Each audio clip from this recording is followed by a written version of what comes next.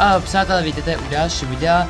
Dneska si tusíme výsledky přihrávku 45. kola spod extraliky a nakonec dohrávku 16. kola spod extraliky. No, uh, 45. kola spod extraliky proběhne v pátek.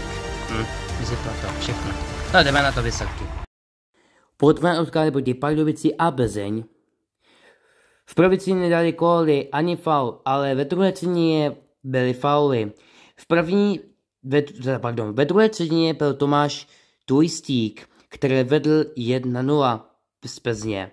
Které Plzeň vedl 1-0, ano. Tomáš Votráček vyrovnal na 1-1. Pak Tomáš Votráček otáčel na 2-1 ve třetí třetině a Robert Kousal dobrá zebraky 3-1.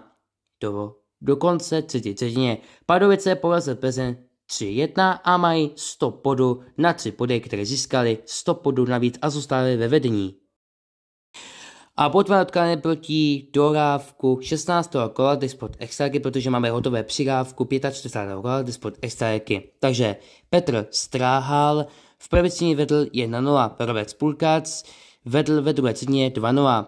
Richard Spulkac ve třetí byl to 3-0, jako bratr Robert Spulkac, jako Richard Spulkac a Petr Kíker, které dal 4-0 přesilovky. Klaton nedal žádné koly, ani jedné koly, takže dnes je to premiérový nulu. Takže Vítkovice porazil Klaton 4-0 a zůstal na desátém místě tohoto základní části T-Sport Extraligy. Tak máme hotové výsledky přidávku 45. kola a dohrávku 16. kola T-Sport Extraligy. Tak přátelé, taky přátelé, my se s vámi učíme.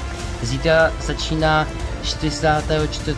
kola, ty sport extraky, ale to si ve čtvrtek. Tak jo, mějte se, ahoj, ve čtvrtek.